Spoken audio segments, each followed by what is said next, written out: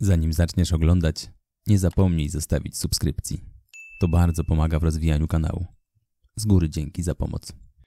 Dzień dobry Państwu, jest piątek, 14 czerwca. Zapraszam na kolejną rozmowę z Człowiekiem Rynku. Ja nazywam się Piotr Zając, a dziś moim gościem jest Przemek Staniszewski, inwestor indywidualny, zwolennik analizy fundamentalnej, którego analizy możecie Państwo znaleźć m.in. na portalu Analiz, na Stockwatchu, też na Twitterze. Cześć Przemku.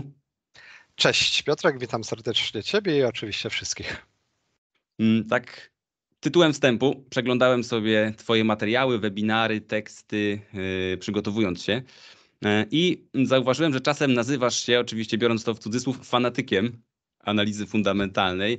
Więc chciałbym właśnie tak od tego sobie trochę zacząć, tak właśnie z uśmiechem, żebyś powiedział kilka słów o tym, skąd u ciebie wzięło się takie, no chyba wprost można powiedzieć, zamiłowanie do takiego bardzo wnikliwego prześwietlania spółek y, właśnie pod kątem fundamentalnym, no bo jak oglądam twoje webinary, czy czytam twoje mm, materiały, myślę, że państwo, którzy cię pewnie też bardzo dobrze e, kojarzą, no to to są zawsze takie bardzo, bardzo wnikliwe rentgeny, bym powiedział, tych spółek, więc powiedz y, skąd, skąd takie, takie zamiłowanie?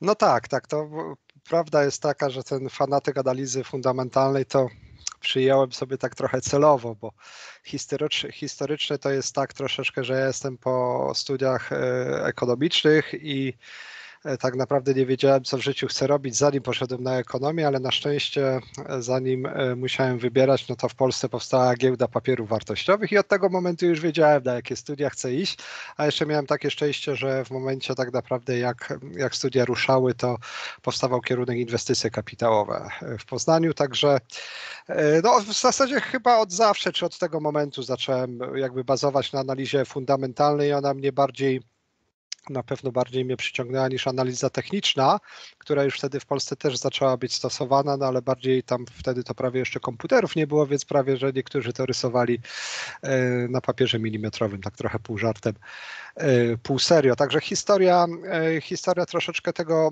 tego typu. No i oczywiście później były jakieś tam różnego typu prace na etacie, które były mniej lub bardziej związane z, może nie do końca z rynkiem kapitałowym, a bardziej z analizą finansową czy fundamentalną.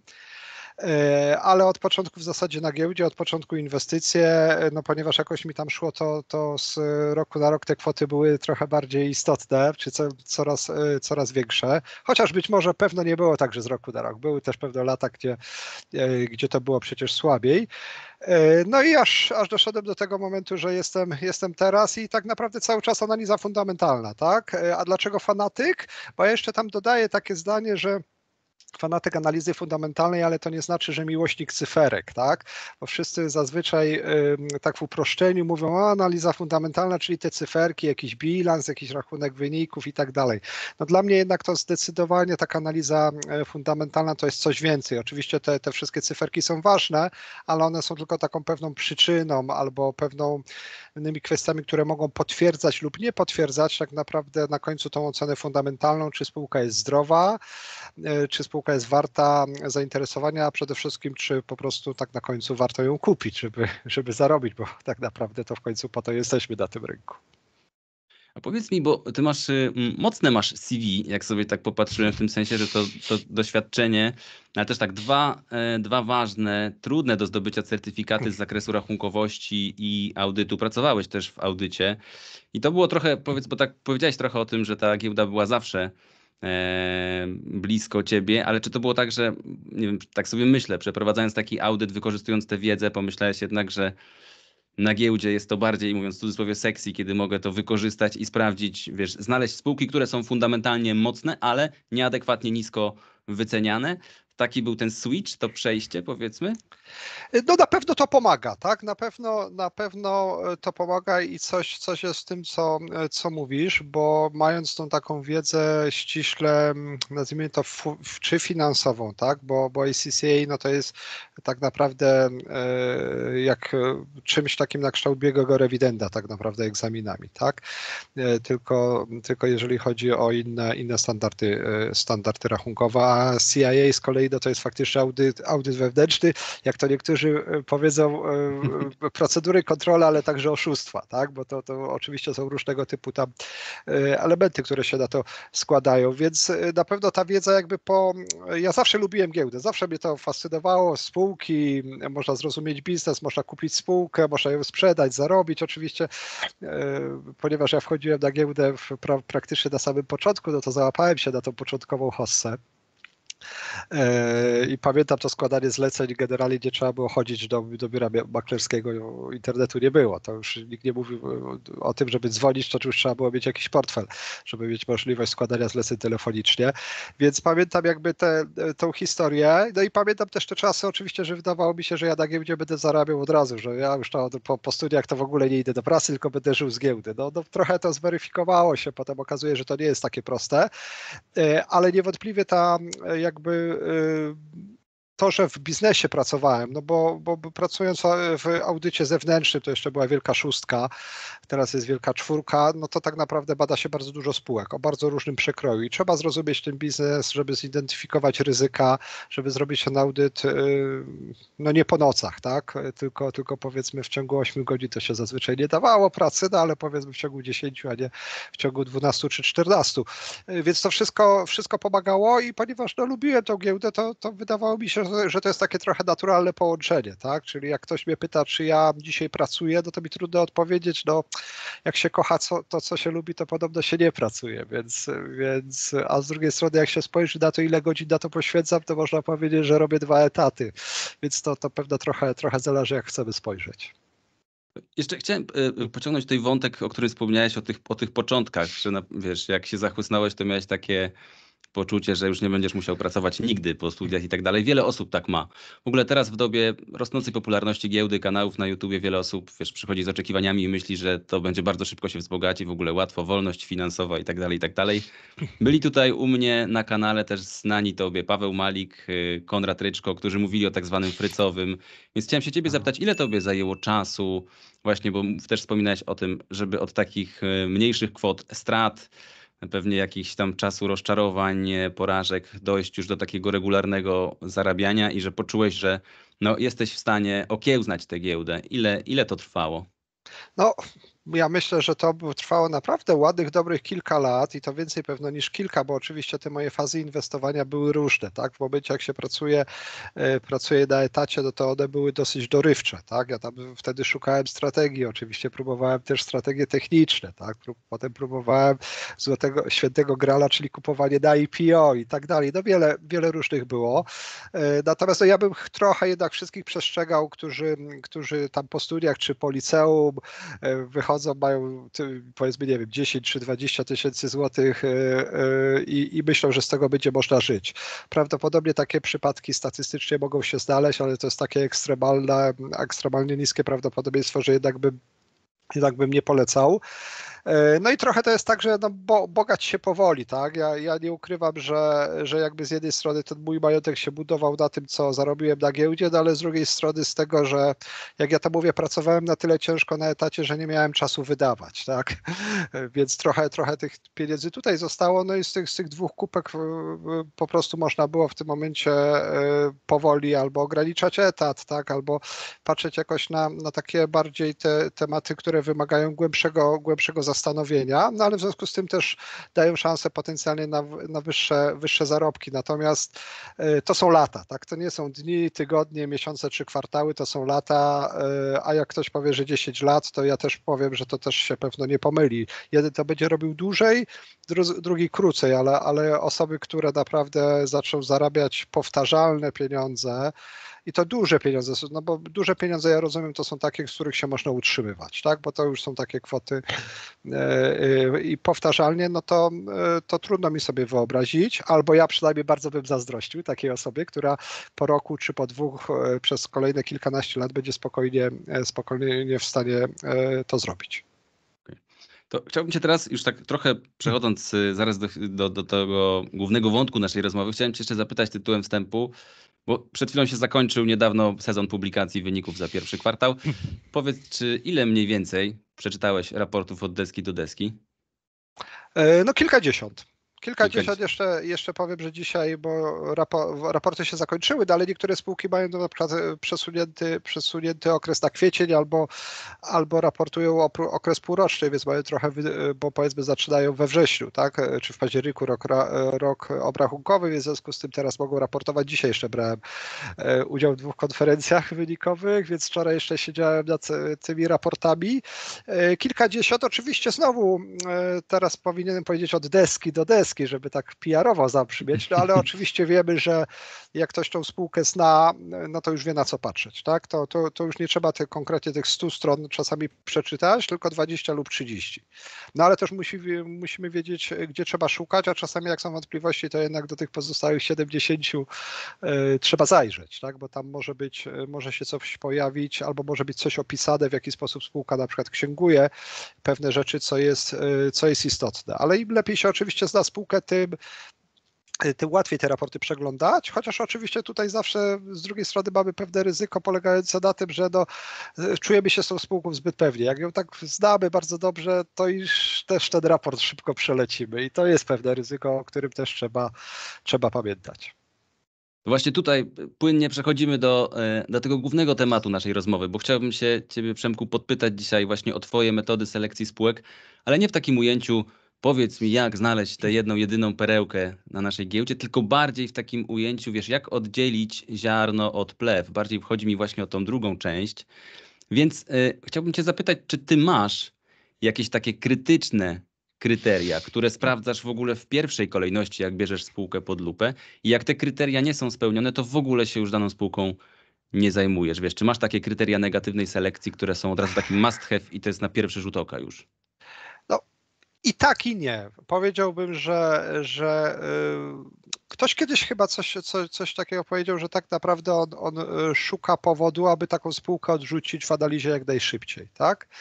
Y, no i takie powody ja oczywiście mam je za chwilę przedstawię, a jaka tak naprawdę stoi za tym logika? No my mamy 400, 400 spółek na rynku głównym, jeszcze pewno więcej na New Codekcie, więc no ja nie przeglądam 900 raportów kwartalnych. Nie? To oczywiście gdzieś tam mogę sobie skadery, tak, mam jakieś, mam jakieś E, moje spółki, które gdzieś tam mam na liście, tak, które czekam, czy ewentualnie są w stanie e, zmienić swoje e, podejście, swój biznes, tak, albo odpalić w ten czy w inny sposób.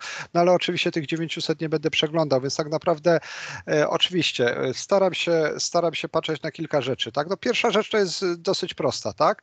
Jeżeli ja nie mam zaufania do zarządu, albo może trochę inaczej, mam negatywne doświadczenia z ludźmi, którzy są w zarządzie, ewentualnie w akcjonariacie, to już takie nie jest zero-jedynkowe, to ja nie chcę takiej spółki. Tak, ja jestem inwestorem no jednak długoterminowym w porównaniu do, jestem długoterminowy w porównaniu do Pawła Malika, który jest długoterminowy, a jeżeli mówisz o Konradzie, no to już w ogóle, bo Konrad pamiętam jak ostatnio powiedział, że on nie, e, nie czuje się pewnie jak zostaje z akcjami na noc, tak? tak? E, no to dla mnie, e, dla, czy a na weekend to już w ogóle sobie nie za bardzo, nie za bardzo wyobraża. No to ja potrafię nie otwierać notowań, tak? W ciągu dnia i, i spokojnie z tym, z tym się czuję, więc tutaj pokazuje fajnie, jako ja mamy zupełnie dwie różne, dwie różne szkoły podejścia i, i podejście i nikt nie mówi, czy jedno jest lepsze, czy jest drugie, czy jest gorsze, ono jest po prostu po prostu inne. Także to zaufanie do zarządu na pewno, na pewno numer jeden. Jeżeli mamy z nimi złe doświadczenia, albo rynek ma z nimi złe doświadczenia, to mnie oni już nie będą, e, na pewno mnie nie będą e, interesować. Druga sprawa, E,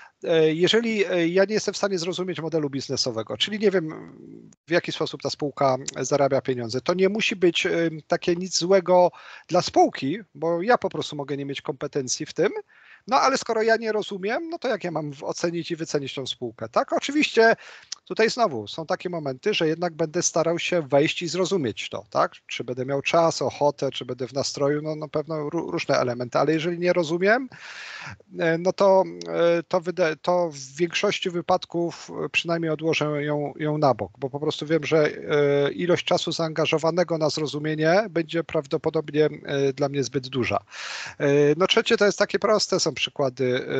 Była, też tam przykład, żeby to było jasne, była taka spółka fachowcy.pl. Tam pan prezes pięknie, e, e, historię sobie ludzie mogą sprawdzić i wygooglać, ona nie, nie skończyła się dobrze, ale ale tam pan prezes pięknie opowiadał, tam w ciągu pięciu minut można było widać, że ten model biznesowy się nie skleja, że po prostu przychody, które on deklaruje, że będą osiągać, nie są w stanie pokryć kosztów yy, przedstawicieli handlowych. No to, to jeżeli na, na, takim poziomie to się nie, model się nie spina, mimo że oczywiście e, PowerPointy były piękne i, i, i słowa prezesa, to, to, to mnie też nie interesuje. No i oczywiście są takie bardzo mocne takie czerwone flagi, czyli y, spółka zarabia, rośnie, tylko że nie ma cashflowów, tak? Jeżeli nie ma cashflowów, nie ma przepływów, I to nie na końcu tylko tych operacyjnych, tak? E, mhm. To, no to dla mnie już jest bardzo mocna czerwona flaga. Oczywiście tam mogą być pewne powody, inwestowanie w kapitał obrotowy i tak dalej, ale, ale tutaj znowu takie przykłady, nie wiem, Kania, e, zakłady mięsne, Getback, tak? Tam były zyski, tak? No ale ze przepływy za tym nie, nie specjalnie szły, a zadłużenie rosło, tak? No bo oczywiście jeżeli nie ma przepływów, to, to, to na końcu, żeby spółka się z czegoś finansowała i utrzymywała, no to musi jakieś zadłużenie rosnąć, no ono rośnie tylko do pewnego momentu oczywiście, tak? Aż, banki, obligatariusze lub ktoś e, inny dostawcy nie powiedzą stop. Także myślę, że to są takie podstawowe rzeczy. Jeżeli tutaj z któryś z tych punktów jest bardzo mocno zahaczony i się tam bardzo, bardzo na czerwono świeci, no to w zasadzie odkładam tą spółkę. Tak? To, to już na tej zasadzie E, ja już to mówiłem na, e, w Karpaczu, ale, ale chyba powtórzę, że Oscar e, Wilde kiedyś powiedział, że on ma prosty gust i interesuje go to, co najlepsze, tak? To ja myślę, że trochę jest tak w inwestowaniu i to niezależnie jaką strategię przyjmiemy, bo, bo to, co jest najlepsze, dla mnie będzie zupełnie inna spółka najlepsza niż dla Konrada, tak? I dla, dla kogoś innego. To to jest zupełnie inna, każdy będzie sobie definiował wedle własnej strategii, ale ja chcę mieć te najlepsze podmioty w portfelu, dlatego odrzucam te słabsze, tak? I na przykład słabszymi to będzie, tak jak mówiliśmy, chociażby brak zaufania do zarządu, czy, czy tutaj te wskaźniki, które, które krzyczą, że, że jest problem, tak? że nie ma pieniędzy i, i, i jest problem. Okej, okay, to jeszcze tak rozkładając trochę na części pierwsze te cztery podpunkty yy, i od tego ostatniego zaczynając, to która część właśnie w raporcie finansowym Cię najbardziej interesuje, jeśli chcesz właśnie od razu te red flagi gdzieś wyłapać, na które z tych, no bo często jest tak, że właśnie, wiesz, osoby patrzą jednak na, na wynik netto, to ich mhm. interesuje, prawda, no ale wynik netto jest tak naprawdę na końcu, e, no poza tym czasem to, co jest zaksięgowane nie znaczy, że faktycznie przypłynęło. Więc chciałem właśnie się ciebie zapytać, jakbyś tutaj tak w szczegółach, oczywiście no nie, nie chcemy tutaj y, wykładu z rachunkowości prawda, przeprowadzać, bo wiem jakie to jest skomplikowane, ale tak pokrótce właśnie, gdzie ty tutaj tych red flagów wtedy szukasz w, w takim raporcie? Yy, dobra, no to w uproszczeniu tak, patrzę, po pierwsze patrzę jak wygląda sprzedaż i dynamika, ja lubię jak spółki rosną sprzedażowo. Oczywiście obecne środowisko jest trochę inne, no bo mamy środowisko no, prawie że deflacyjne, tak? a w niektórych wypadkach w zasadzie mamy deflacyjne, więc to jest sporo, sporo trudniej, ale ja chcę mieć podmioty, które będą rosły, które w przyszłości się będą, które się rozwijają i w przyszłości się będą rozwijać, więc patrzę na sprzedaż, ale patrzę jak na tym, za tym wyglądają wyniki i przede wszystkim nie, no zysk netto nie za bardzo, znaczy oczywiście, że na niego gdzieś tam na końcu spojrzę, ale wydaje się dla mnie nawet nie zysk operacyjny, tylko minimalnie wyżej, czyli zysk na sprzedaży, bo na, na pozostałej działalności działalności operacyjnej. Mamy często różnego typu rozwiązania rezerw, zawiązania rezerw, takie rzeczy. To wydaje się, że to jest zysk na sprzedaży. Jeszcze wyżej oczywiście marża brutto na sprzedaży, żeby zobaczyć, czy spółka fajne marże te pierwsze generuje. Bo jeżeli ona fajne, wysokie marże pierwsze generuje, e, no to jest szansa, że będzie miała z czego pokryć resztę kosztów, e, które przecież będzie miała, tak? Jakieś tam koszty sprzedaży, koszty zarządu ogólno, ogólnozakładowe. Więc to jest na pewno fajne, e, na to zwracam uwagę. Zysk, nie, nie lubię EBITDA. Nie będę już tam generalnie raczej tutaj jestem e, zwolennikiem Buffetta i Charlie Mangera, którzy EBITDA określili tam niezbyt pozytywnie. Ja też uważam, w szczególności po zmianach w rachunkowości z MSSF-em 16, że, że nie jest to wskaźnik, który e, cokolwiek w chwili obecnej nam, nam mówi, ale wiem, że na rynku panuje kult EBITDA, analitycy zawodowi uwielbiają EBITDA, więc niech taki wskaźnik sobie będzie, ale on nie jest, e, nie jest dla mnie.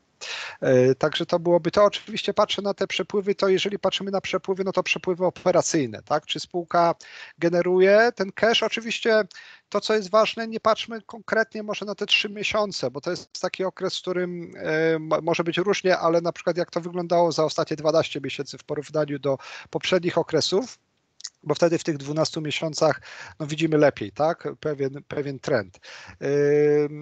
Fajnie jest, jeżeli spółka generuje te y, operacyjne przypływy i powinna je generować, ale czasami jest tak, że kapitał obrotowy, który musi zainwestować w zwiększenie sprzedaży, no będzie, e, będzie po prostu zjadał te, te przepływy. I tutaj znowu musimy wejść w szczegóły. Wtedy trzeba tak naprawdę, ten, już nie będziemy robić też wykładu z, e, z tego, jak cash flow działa i na co patrzeć, ale w tym momencie momencie w te operacyjne przepływy trzeba byłoby wejść głębiej i zobaczyć, czy wszystko, czy wszystko jest ok, bo jeżeli zapasy rosną, ale rośnie sprzedaż, no to wiadomo, że je musimy finansować i w związku z tym tego cashu nie będziemy mieli, ale gorzej jest, jeżeli mamy fajne zyski, e, ale zapasy nam rosną dwa razy szybciej niż sprzedaż. To jest znak. Yy, to jest znak niepokojący, chyba że wierzymy bardzo mocno w zarząd, bo to o tym mało ktoś zapomina i tu taki tip dla, dla tych, którzy lubią rachunkować, że tak naprawdę zapasy to jest jedyna część y, aktywów, która jest kupowana pod przyszłą sprzedaż, tak? bo należności, zobowiązania, no to jest efekt po, po tych transakcji, które zawarliśmy, a zapasy to jest coś, co kupujemy pod coś, co się wydarzy, więc czasami, jeżeli zarząd jest naprawdę dobry i naprawdę wie, co robi, to to, że bardzo mocno wzrosły zapasy, może być bardzo fajnym znakiem, że się spo, spodziewa bardzo wysokiej sprzedaży w, w kolejnych kwartałach, czyli w domyśle również zysków. No, tylko zarząd musi wiedzieć, co robi, a to nie zawsze bywa tak. A to chciałem jeszcze wrócić teraz do pierwszej rzeczy, o której powiedziałeś, o której zacząłeś, a propos tych właśnie tej negatywnej selekcji, czyli zaufanie do zarządu. E, no nie chcę, wiesz, mówić o jakichś tam szarych eminencjach naszego rynku kapitałowego, nie o to chodzi w tej rozmowie, ale czy to właśnie chodzi o to, że masz takie mm, pewne osoby, które już cię gdzieś zawiodły, albo też w akcjonariacie jest na przykład fundusz, e, to niekoniecznie TFI, to może być jakiś private equity, są takie podmioty, za którymi, które prawda, no, angażują się w wiele spółek. Czy właśnie masz na myśli takie mm, i, i instytucjonalnych, i indywidualnych, i indywidualne osoby, które już gdzieś, powiedzmy, w cudzysłowie, zalazły ci za skórę wcześniej? Tak, dokładnie, dokładnie tak, bo to jakby na końcu dla mnie nie jest istotne, czy to jest TFI, czy to jest venture capital, czy to jest jakiś, jakiś FIS, czy, czy cokolwiek innego, albo nawet duży, duży inwestor e, indywidualny, bo przecież tacy też się, też się zdarzają, tylko ja patrzę na to, czy tak naprawdę tą spółkę, czy ktoś chce być akcjonariuszem takiej spółki, tak, bo, no bo jeżeli nie chce, e, no to ja mam być, to ja mam być dawcą tego kapitału? No tutaj jest pewne pytania. Mhm. Tak? Jeżeli, oczywiście jasnym jest, że fundusze, nie wiem, venture capital, tak na przykład, no to one wchodzą na pewnym, w pewnym momencie e, do spółki i w pewnym momencie chcą wyjść, tak? To jest jakby naturalne i tutaj się nie ma co, co dziwić, ponieważ oni no, po prostu potrzebują pieniędzy, które będą w kolejne takie, nazwijmy to w uproszczeniu, startupowe projekty e, inwestować, ale no historia, nie wiem, Allegro, historia Pepco, tak? E, I kilku albo kilkudziesięciu, pewno by tak można wymieniać, przykładów pokazuje, że jeżeli nikt nie chce być akcjonariuszem e, większościowym, e, to wcale nie musi być akcjonariusz strategiczny, żeby z tego, z tego biznesu, no to, no to jest ciężko tak naprawdę. Tak? Tu chyba jedynym takim przykładem to może być spółki tego typu jak Kenty, gdzie OFE są, e, e, tam nie ma akcjonariusza ani, ani branżowego, ani strategicznego OFE chyba tam mają większość. No jakoś potrafią współdziałać, no ale tam mamy e, mega super zarząd, tak? Może jeszcze tam jakieś kilka, kilka mniejszych podmiotów, ale bez tego, jeżeli nie wiem, znaczy albo może inaczej, jeżeli wiem, że ktoś nie chce być tym akcjonariuszem i chce wyjść, to ja niespecjalnie lubię takie podmioty, no chociaż ktoś mi powie, no dobrze, a Allegro, bo Allegro jest takim podmiotem, że wiemy, że ten akcjonariusz, który jest, no najchętniej to by te wszystkie akcje już pożenił, tylko, tylko ciężko raczej puścić coś takiego w rynek. No i to oczywiście tutaj jest pytanie, pytanie kto, to, kto to odbierze, tylko że mówimy oczywiście o spółce z WIG-20, więc to jest trochę inny kaliber. Inny kaliber. A to jeszcze chciałem tu podpytać, bo pamiętam, o ile dobrze pamiętam, to William O'Neill, znana legenda Wall Street, on miał ten swój um, system CanSlim, tak? To były mhm. pierwsze litery od, od tych właśnie wytycznych i chyba mm, wśród nich było to, że dla niego obecność, ale nie pamiętam poziomu, w akcjonariacie właśnie TFI czy OFE, a więc y, inwestorów instytucjonalnych, to był zawsze dobry znak, bo wychodził z założenia, że jeżeli ktoś taki odrobił te lekcje, czyli no, prawdopodobnie przestudiował, ma fachowców i zaangażował się w to kapitałowo, to znaczy, że to jest y, to jest dobry znak. Czy ty jesteś też takiego samego zdania? Czy na przykład tak jak na przykładzie Kentów, kiedy mamy ten, no powiedzmy pewnie punkt przegięcia, jeśli chodzi o ilość w akcjonariacie instytucji, no już daleko jesteśmy za nim. Czy masz tu jakiś punkt graniczny, czy bierzesz coś takiego pod uwagę? E, powiem uczciwie, że nie. Ja nie mam jakby e, w zasadzie żaden wskaźnik, e, który używam. Nie mam na ściśle zdefiniowane, że jeżeli przekroczy 20-25%, jeżeli dług netto do EBITDA będzie, nie wiem, powyżej jest 2,99 to jest ok, a 3,01 to już nie. Nie mam takich ścisłych, ścisłych reguł. Tak samo nie mam z tym akcjonariatem. Ja powiem wręcz inaczej. Jeżeli ja często inwestuję w mniejsze spółki, w których na przykład tych funduszy prawie że nie ma. Ze względu oczywiście, myślę, że na płynność, no jak byłbym złośliwy, a jestem, więc powiem, no to również i lenistwo tych, tych analityków, no, którzy by musieli o wiele więcej spółek pokrywać, tak? Mhm. E, co jest też jakby trochę, teraz lenistwo to oczywiście troszeczkę prze, przegiąłem, no bo pewno każdy ma swoje i kompetencje, i ilość, liczbę spółek, którą może, może objąć, więc to nie jest tak, że jak analityk e, analizuje 10 spółek, jakby to musi dorzucić jeszcze kolejne 10 i będzie, będzie szczęśliwy, będzie w stanie to zrobić, ale ja często właśnie wchodzę w te mniejsze spółki, w związku z tym też rozdrobnienie portfela niestety muszę, albo stety muszę, muszę mieć większe, e, no ale wtedy tych, tych funduszy tam nie będzie. Nie? Mm, no ja nie będę z legendami Wall Street się kłócił, bo, bo, bo gdzie mi tam, ale nie wiem, czy to, to jest takie idealne podejście. Oczywiście to lepiej jest tak, że, że są fundusze, które faktycznie w jakiś sposób na pewno prześwietliły tę spółkę, no ale to nie jest tak, że te fundusze się nie mylą. Nie? To, to nie jest, wracamy chyba do tego, że nie mamy świętego grala. Tak? To może troszeczkę zwiększać nasze prawdopodobieństwo, mm, ale wcale, wcale nie jest gwarantem tego, że na tej inwestycji nie stracimy, bo fundusze też stracą, też wchodziły w spółki, które no, spółki w zasadzie je oszukiwały albo na e, po prostu fajnie, fajnie sprzedawały się, a fundusze e, no, nie odrobiły swojej lekcji. Albo miały w tym momencie być może na przykład za dużo gotówki. No, znamy takie przykłady z polskiego rynku, chociażby wspomniany przez Ciebie Getback na przykład. Prawda? To y, jeszcze wracając i rozkładając na części pierwsze, chciałbym też zapytać o to, bo mówiłeś, że jeżeli nie, mm, ten biznes wydaje ci się niezrozumiały, to też unikasz. Miałeś na Wall Street dwa wykłady. Ja byłem na tym, gdzie mówiłeś o swoim podejściu, tam o LPP, ale miałeś ten drugi o biotechnologii, tam nie dotarłem. Kuluarowe rozmowy mnie wciągnęły, ale tam mówiłeś o biotechnologii i o ile dobrze pamiętam, z, z tytułu wynikało, że właśnie o takich trudach, bo wiele osób to podkreśla. To są spółki w bardzo zaawansowanych medycznych branżach, żeby faktycznie dobrze je prześwietlić, to nie tylko wystarczą nam wglądy w raporty, ale też trzeba się po prostu znać często na tej, na biotechnologii, na chemii, na medycynie, na jakichś molekułach itd., tak itd. Tak ale właśnie y, czy to jest, no bo też mm, czasem trzeba podjąć takie ryzyko, jeżeli nam się coś wydaje, prawda, to też czy masz jakiś tutaj klucz do tego, kiedy warto wejść w taki trudny biznes i zaangażować te siły, a kiedy, a kiedy nie? I tu jest ciekawe, bo z jednej strony rozmawiałem tam między innymi z Pawłem Wielgusem, e, członkiem zarządu Biocelticsu, który tak, żeby chyba podgrzać atmosferę, powiedział, że on się strasznie dziwi, że to ja prowadzę ten panel, bo jak on był właśnie na tym moim tamtym poprzednim wykładzie, no to to jest zupełnie e, oddalone od, od, tego, od tego, czym jest biotechnologia. Ja już tego wątku tam nie, nie ciągnąłem, bo nie było czasu, nie o to chodzi, ale wydaje mi się, że ja bym powiedział wręcz przeciwnie, dlatego, że na końcu ja chcę znaleźć dobre, jakościowe spółki, które mogą rosnąć i które mają rozsądną wycenę. No to teraz sobie zobaczmy. E, czy spółki biotechnologiczne e, mogą rosnąć? No jeżeli skomercjalizują coś, z całą pewnością tak, tak. Wycena? Wycena jest niewątpliwie wyzwaniem. Tak? To jest e, kwestia, którą, którą przy biotechnologii trzeba mocno rozważyć, ale tutaj też nie ma mądrych. To za chwilę, za chwilę jeszcze do tego wrócę. No i jakość tak naprawdę rozważamy bardzo standardowo. Oczywiście ona jest trudniejsza w takim rozumieniu, że mi będzie sporo trudniej zrozumieć e, rynek e, powiedzmy leków e, na zapalenie skóry w, dla, dla psów, tak, niż E, nie wiem, e, rynek LPP, tak, bo tam chodzę, tak, czy tam moje dzieci chodzą, czy moja żona i, i, i możemy zobaczyć, czy jest jasne, ale tak naprawdę tutaj te czynniki jakościowe wszystkie są takie same. Zarząd trzeba ocenić, tak, czy jest wiarygodny, czy nie.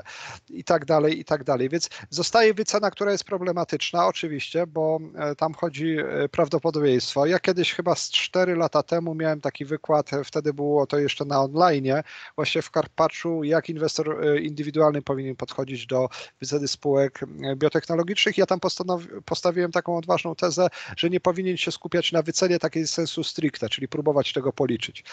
Powinien, powinien próbować policzyć to, ile jest rynek ewentualnie waż, wart, tam, gdzie spółka chce dotrzeć, z jakim produktem, czy ma ta spółka konkurentów, przede wszystkim jaki ma produkt i czy robi postępy w tym produkcie, tak, w, w rozwoju tego produktu i czy idzie to zgodnie z harmonogramem. Jeżeli to wszystko będzie szło, jeżeli tutaj oczywiście ocenimy, że ten rynek, ten realny rynek, bo to jest jeszcze problem, jest, y, jest y, w stosunku do wyceny spółki atrakcyjny, to co może spółka ugryźć z tego rynku, to bawienie się w to, czy zrobimy DCF-a takiego, czy innego nie ma większego sensu, w szczególności jeżeli w takich wypadkach musimy go jeszcze ważyć ryzykiem, czyli dochodzi kolejna, kolejna zmienna do DCF-a, czyli w tym DCF-ie dokładnie wszystko będziemy mogli, e, mogli zrobić. Ja tylko przypomnę, że były takie e, wyceny, które w DCF-ie wychodziły, że Pure e, Biologics był wart 100, 100 ileś złotych.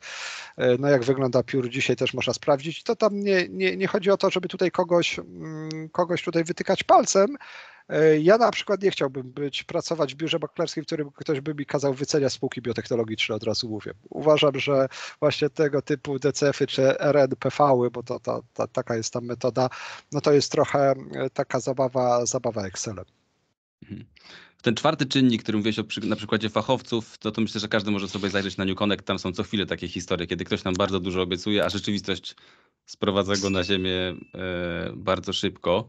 Dokładnie. A Przemku, y, to idąc dalej trochę, jeżeli już mamy takie red flagi, e, czyli to, co powiedzmy jest taką bazą u ciebie, takim must have, ale powiedzmy, że e, hipotetycznie już wybrałeś spółkę, kupujesz, trzymasz, no to taka stara zasada mówi, że dopóki to pozytywne story, dopóki ten scenariusz y, jest utrzymywany, nie ma przeciwwskazań, to trzymamy taką spółkę. Sam podkreślałeś to, że właśnie jesteś długoterminowym inwestorem, nie musisz zaglądać codziennie do notowań.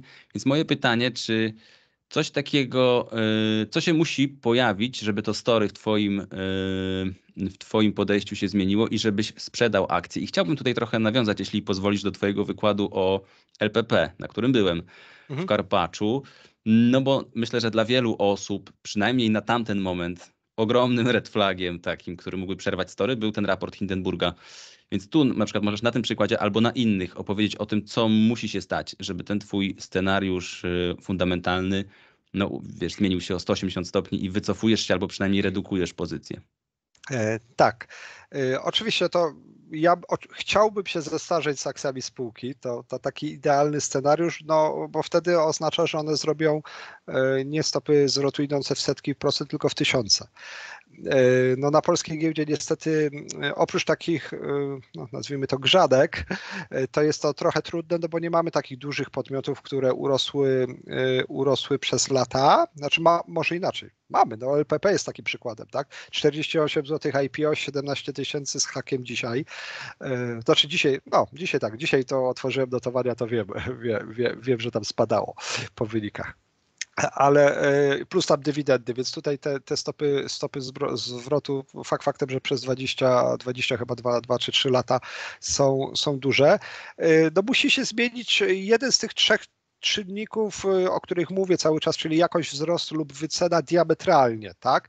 Co do jakości ja się zgadzam, że niektórzy mogli na przykład po opublikowaniu raportu Hindenburga sprzedać LPP ja na przykład też mogę ja nie lubię mówić o swoim portfelu, ale mogę powiedzieć, że, że dokonywałem na otwarciu transakcji sprzedaży części mojego, e, mojego e, portfela LPP i odkupowałem tego samego dnia pod koniec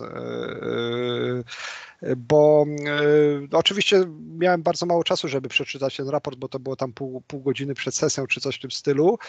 Przeczytałem, w część rzeczy na tyle dobrze znałem spółkę, że w część rzeczy nie uwierzyłem, część była problematyczna.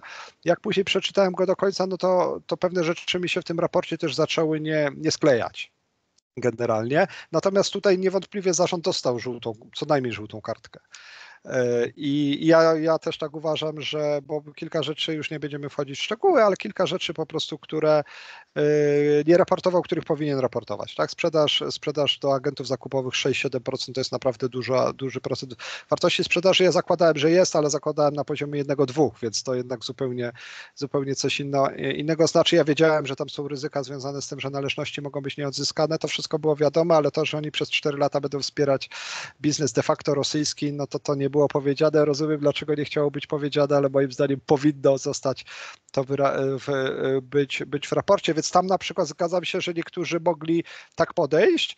i mm, no ja w mojej strategii wtedy też byłem blisko, blisko tego, też, też, też nie ukrywam, ale ja podejmuję, staram się, ktoś też powiedział albo panikujemy piersi, albo wcale, tak? No więc ja spanikowałem pierwszy na poziomie tam jednej czwartej chyba e, mojego zaangażowania, później je odkupiłem, czyli de facto w sobie trochę, bo za te same pieniądze, a odkupiłem taniej, czyli troszeczkę tam powiększyłem nawet ten mój pakiet w, za, w zasadzie, ale no ale spółka ma jakąś tam mm, tutaj, nie wiem, żółtą kartkę, czy, czy zresztą została, nazwijmy to, w, w, w, w takim hokejowym określeniu odesłana na ławkę kar.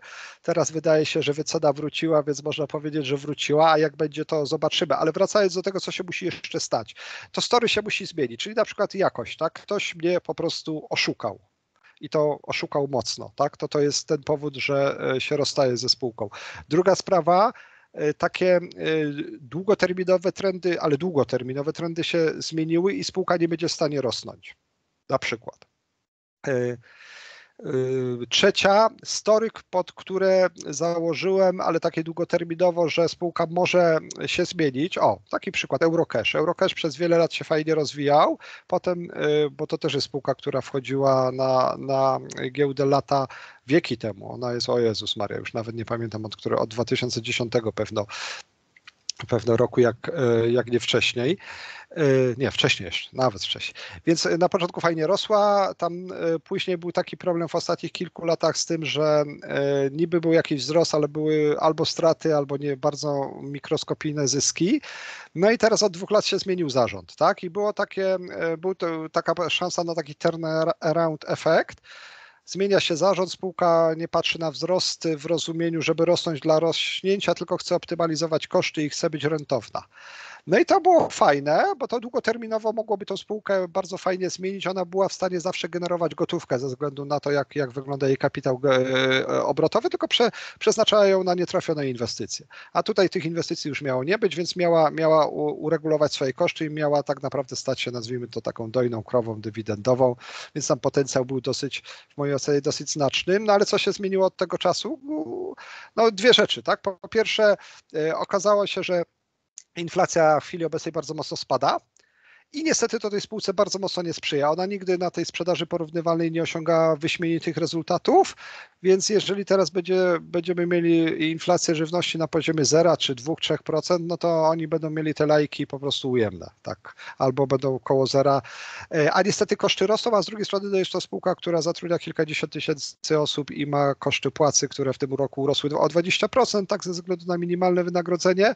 Oczywiście one co roku chyba nie będą rosły co 20, od 20%, to trochę, trochę naszą gospodarkę by chyba zarżnęło, ale no wiemy, że, że skoro się rozwijamy jako państwo, to płace będą u nas rosły, więc jeżeli sprzedaż im nie będzie rosła, a będą im rosły płace, to bardzo ciężko będzie po prostu fajną zyskowność. I tutaj się zmieni, zmienił jednak ten taki fundamentalne spojrzenie, że nawet jeżeli spółka dostarczy oszczędności kosztowe, to one co najwyżej pokryją te wzrosty, wzrosty płac, czyli w sumie y, spółka się narobi, a nic z tego nie będzie. To jest to jest tego typu przykład. No i oczywiście y, zmiana strategii. Tak? Spółka się rozwija w jakiejś dziedzinie, ale nagle mówi, to my teraz będziemy się rozwijać przez M&A. Nigdy to się nam nie udawało, nie mamy albo nie mamy żadnych doświadczeń w tym, ale teraz kupimy spółkę dwa razy większą od nas i w związku z tym będziemy trzy razy drożsi. No to jeżeli tutaj nie mam stuprocentowego zaufania do zarządu, to ja wychodzę z takiej spółki, bo historia i doświadczenie pokazuje, że M&A rzadko kiedy dodają wartości. W Polsce, jakbyśmy tak spojrzeli, to chyba Vercom i, i, i grupa no, R22 czy, czy Cyberfolks obecnie to są chyba tylko przykładami takimi, które tak naprawdę zbudowały wartość także dla akcjonariuszy y, y, poprzez, poprzez przejęcia. Oni to robią perfekcyjnie, co do innych podmiotów to, to no ciężko. Tak? Y, oczywiście pojedyncze jakieś tam przejęcia były zyskowne, ale w całości to jest, to jest dosyć słabo. Wspominałeś wcześniej, że mm, no przez to, że interesujesz się też tymi mniejszymi podmiotami, na które duża część analityków w ogóle nie, nie zwraca uwagi, czy nie, zwra- nie zawraca sobie nimi głowy. Mm, chciałem Cię zapytać, czy ta dywersyfikacja u Ciebie jest bardzo bardzo duża. Też no nie, nie chcę cię podpytywać jakieś szczegóły o konkretne spółki, ale na przykład czy to, jest, czy to jest duża liczba takich spółek w portfelu? No jest, jest i tutaj jak ktoś mi powie, że mam za dużą liczbę spółek w portfelu, no to yy, to mu powiem, że no nikt nie jest idealny, tak? Ja, ja też nie jestem. E, więc, ale to jest tak, z jednej strony, bo to jest tam pewno z 20 podmiotów, 20, ponad 20, więc jest pewno za dużo. Z drugiej strony ja to jestem cały czas w stanie ogarnąć. E, tak, jeżeli chodzi o przeczytanie raportów, e, o branie udziału w konferencjach, o śledzenie tego, co się, co się dzieje. Z trzeciej to mi daje tak naprawdę to, ten spokój, tak? E, po prostu ja nie mam spółki, która robi mi 30, która ma udział w portfelu 30%.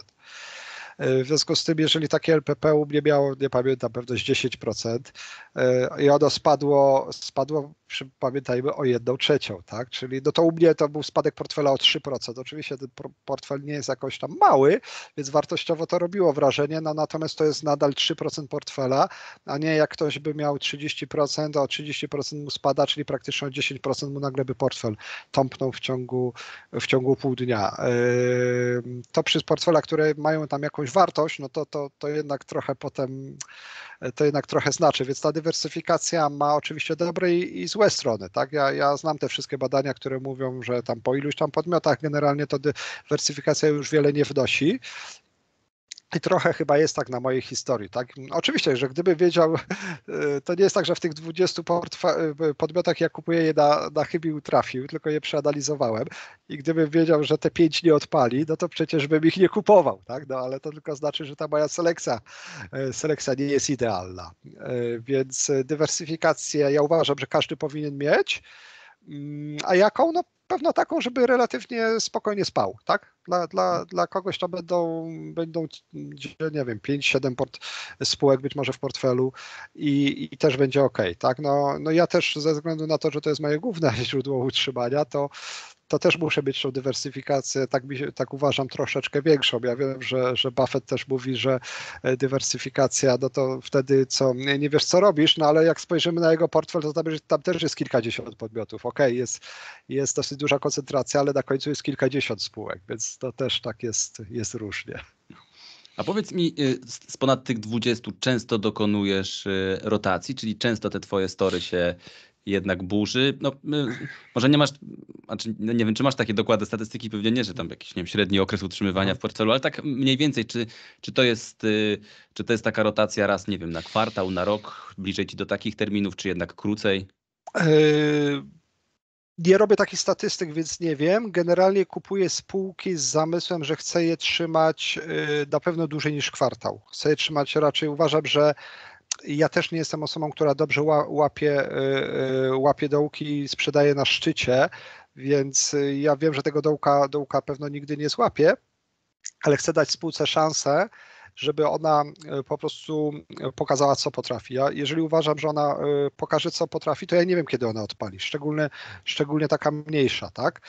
To tam też zbudowanie pozycji nie jest łatwe. No niestety na polskim rynku troszeczkę tak jest, że to, tak czasami z kolegami się śmiejemy, że w sumie to kupić o każdą spółkę się uda kupić, no bo gdzieś tam będziesz stał w tym arkuszu, czekał, składał zlecenia po dwa czy po pięć tysięcy złotych i czekał, aż ci się zapełnią i z kolejne składał i tak dalej, ale w praktyce, jak się potem okazuje, że jest to podmiot, który jednak się nie rozwinął, no to sprzedać i wyjść z tego to jest już piekielnie trudno, bo jeżeli on się rozwija, no to w domyśle ta płynność się pojawi, tak? No bo on z tego powiedzmy y, z szerokiego indeksu wejdzie do SWIG 80, gdzie już troszeczkę lepsza będzie płynność, potem wejdzie do MWIG 40, no gdzie będzie ta płynność, ta płynność musi być, tak? W sensie ona będzie lepsza niż, y, niż była.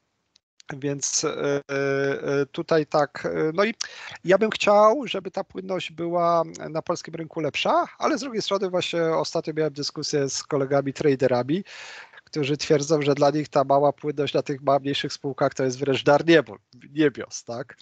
Bo, bo im, im jest wtedy łatwiej. No więc każdy tutaj pewno ma swoje, ma swoje podejście. To ost ostatnia kwestia, być może najbardziej drażliwa, znaczy e, oczywiście się uśmiecham. Chciałem cię zapytać o analizę techniczną, bo mówi się, jest taki, nie wiem ile jest w tym żartu, ile powagi w tym takim, że albo jesteś fundamentalistą, albo technikiem i tak dalej. Czy ty korzystasz z, z, jakichś narzędzi analizy technicznej, albo czy w ogóle bierzesz pod uwagę jakieś elementy?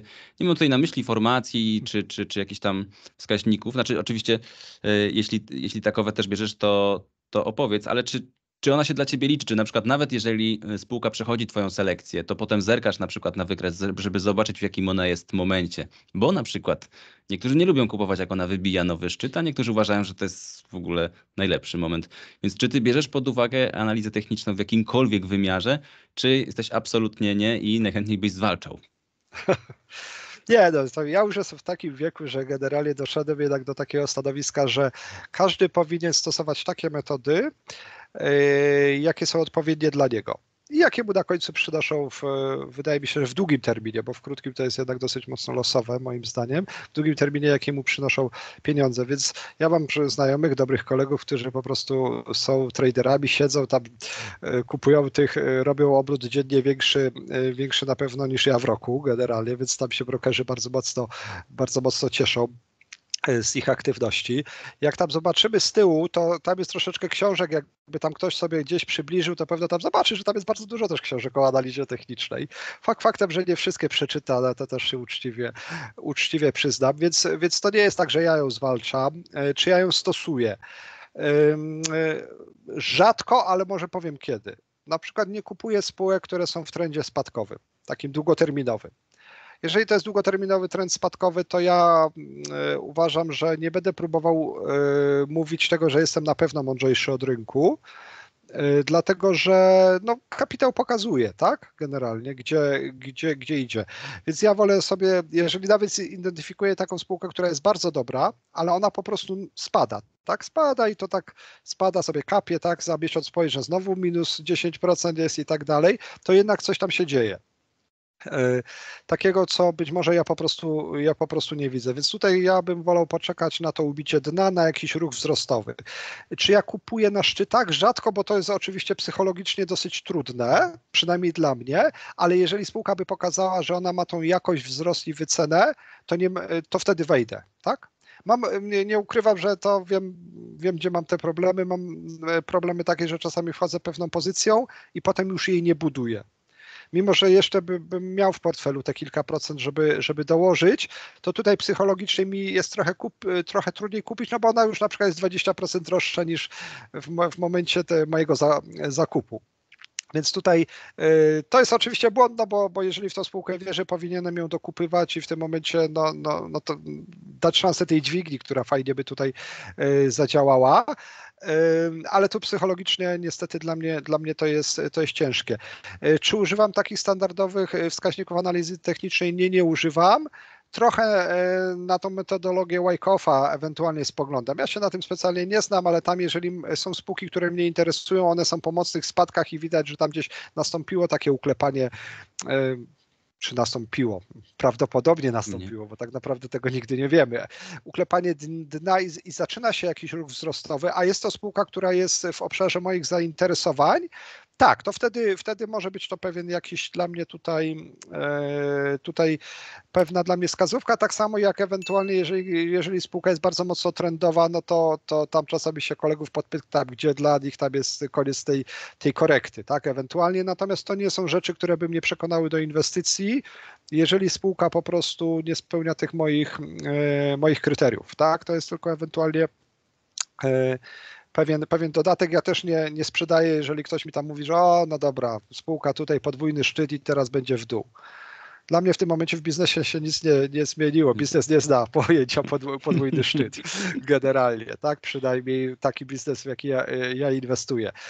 Więc w ograniczonym e, zakresie, ale jak ktoś stosuje, na tym zarabia, to naprawdę no to, to, to nic mi do tego. Gratuluję i ważne, żeby tak naprawdę dobrać strategię inwestycyjną do siebie. To, to, to ja będę zawsze to powtarzał. Wydaje mi się, że to jest e, mega istotne i chyba najtrudniejsze w tym całym, e, w tym całym świecie inwestycyjnym i prawdopodobnie dlatego tylu ludzi e, odpada i po prostu nie albo za dużo szuka i za dużo kombinuje, albo za mało szuka i nie znajduje tej, tej strategii. Ostatnie pytanie. A propos tego, co widzimy za tobą, czy masz jedną, dwie, trzy książki, które są takimi dla ciebie takimi kamieniami milowymi e, w tej edukacji finansowej? Czy to jest, czy, czy trud, wiem, czasem to jest tak trudno wybrać, jak ktoś nas pytał o ulubiony film, czy coś takiego, ale czy coś przychodzi ci do głowy? Pamiętam, że wymieniałeś dwa tytuły podczas prelekcji e, na Wall Street, nie pamiętam jednak jakie to były. No ale właśnie, czy gdyby cię ktoś zapytał, to coś byś wskazał albo jakiegoś autora? E, no tak, to znaczy może inaczej. To książką, która mm, kiedyś mnie mocno skierowała, to była książka Fischera zwykłe akcje, niezwykłe zyski albo coś, coś taka dosyć, dosyć e, znana, bo ona trochę e, tak naprawdę pokazywała, pokazywała tą sytuację, jaką, e, z jaką ja się mierzę, czyli tak naprawdę w jaki sposób selekcjonować spółki, które są dobre. Tam nie ma specjalnych wskaźników, tam są raczej te takie cechy, cechy jakościowe, czyli te, które no my trochę mniej lubimy, no bo tutaj nie da się zbudować fajnej, fajnego Excela, do którego coś można wpisać, i, i, i, tego święty gral jest tutaj trudniejszy, ale wydaje mi się, że on troszeczkę tak naprawdę w tym, w tym tkwi. Także z tych takich podstawowych to wydaje mi się, że ona była fajna. Oczywiście ona jest tam sprzed nie wiem, Jezus Maria, z 30 czy 40 lat pewno, więc trzeba by ją e, czytać tak zupełnie na nowo, ale jest na pewno, na pewno fajna. Jeżeli chodzi o te dwie książki, które polecałem, no to one były do tej strategii o której ja mówiłem, czyli strategii jakościowej, no to jedna, wiesz co, ja tu się, y, o, Jedna to się nazywa The Art of Quality, nie wiem czy będzie widać, ale The widać. Art of Quality Investing. E, ona jest tylko po angielsku, tak? E, ale no, taki angielski, że ja sobie też poradziłem, więc, więc myślę, że, że większość ludzi, który gdzieś, która gdzieś tam angielski miała, to sobie, e, to sobie poradzi. Druga była pana Katzenelsona, który, który zasłynął tym, że w 2009 czy 2010 roku powiedział, że teraz to już żadnej hossy nie będzie po tych wielkich spadkach, teraz rynek będzie tak sobie chodził w takim od bandy do bandy. No niespecjalnie trafił, no nie. można powiedzieć, ale książkę napisał niezłą. Nie? Książkę trochę ta jakość wzrost wycena to są właśnie te, te, te rzeczy, które e, które e, ja stosuję, ona do mnie bardzo mocno trafiła e, i prawda też jest taka, że on ma swój fundusz i tam sobie radzi, nie? więc akurat z tą, z tą próbą przewidzenia przyszłości to, to nie trafił. To, to, to są te rzeczy i no to wszystko chyba zależy, kto jest na jakim poziomie, tak? Bo jeżeli ktoś będzie się chciał bardzo mocno na przykład dokształcić, no to jest taka Biblia Valuation McKinsey'a, tylko że to ma, nie wiem, 900 stron.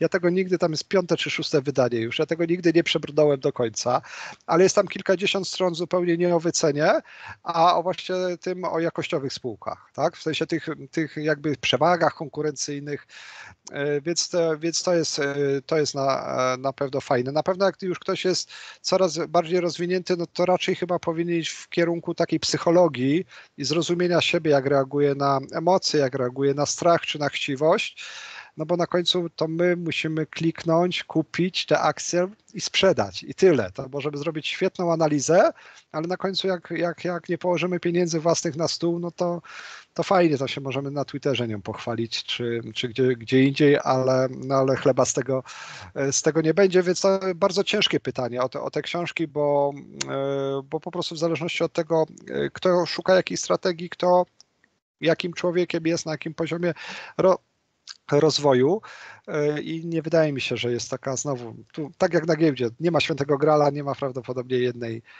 e, jednej książki, tak przynajmniej mi się wydaje. Super, to niech to będzie y, puenta tej rozmowy. Przemku, bardzo Ci dziękuję za podzielenie się ogromem wiedzy. Dziękuję bardzo i pozdrawiam wszystkich. I zachęcamy Państwa do podzielenia się Waszymi wrażeniami po rozmowie w komentarzach, czyli komentujcie, dajcie też suba, lajka. E, na dziś dziękujemy i do usłyszenia w kolejnych materiałach. Jeżeli podoba Ci się ten materiał, możesz odwdzięczyć się wirtualną kawą. Link do wsparcia znajdziesz w opisie filmu i przypiętym komentarzu.